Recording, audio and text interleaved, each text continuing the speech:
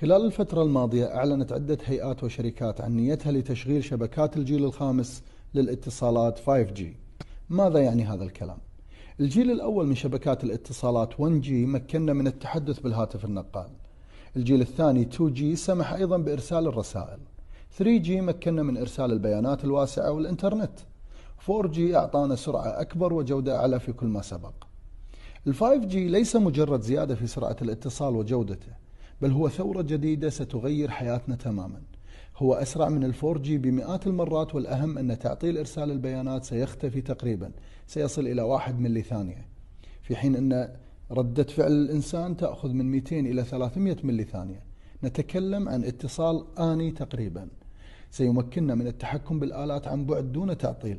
سيفعل إنترنت الأشياء. سنتمكن من تشغيل شبكات سيارات ذاتية القيادة.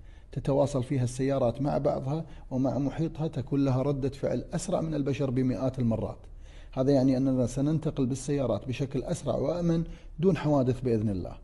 الأطباء سيتمكنون أيضا من إجراء عمليات من مناطق بعيدة من خلال التحكم بروبوتات بشكل لحظي وآني.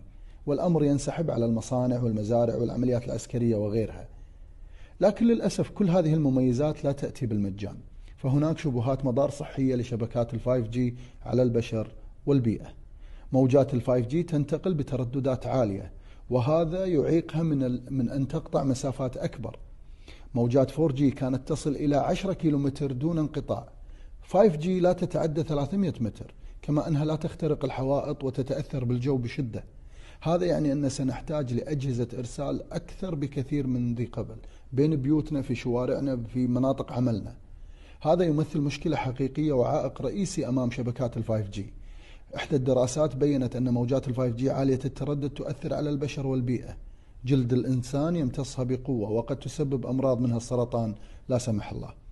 مؤخرا تقدم أكثر من 200 عالم وباحث من حول العالم للأمم المتحدة بعريضة يطالبون فيها بإيقاف تشغيل شبكات ال 5G لأضرارها المتوقعة على البشر والبيئة.